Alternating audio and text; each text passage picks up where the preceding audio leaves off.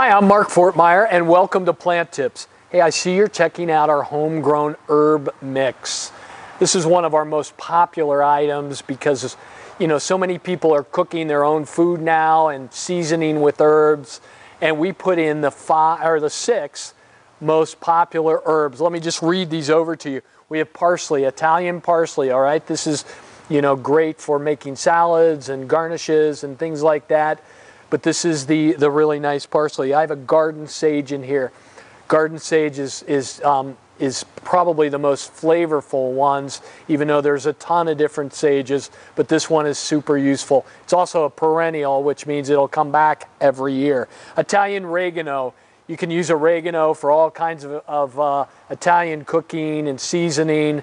Um, it also is a perennial, and it grows very low to the ground, so you can just really keep trimming it back.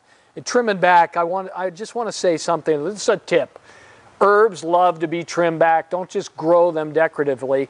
The, the more you use them, the more and the larger and the more vigorous they will grow.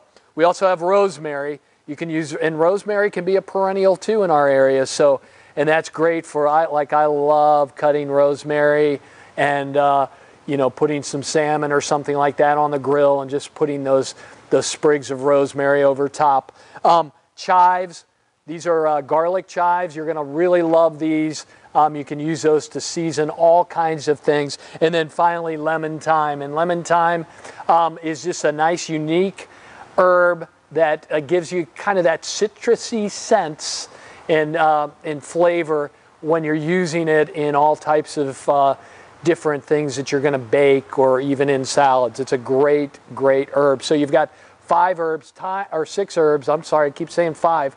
Um, many of them are perennials. Uh, you will enjoy these. Plant them in full sun. You can plant them in containers and they'll go, they'll do really well for you there too. So thank you for purchasing your herbs from the school. And remember, they come fresh out of our greenhouse, so they're fresh, strong, and very vigorous. Thanks you again. Bye.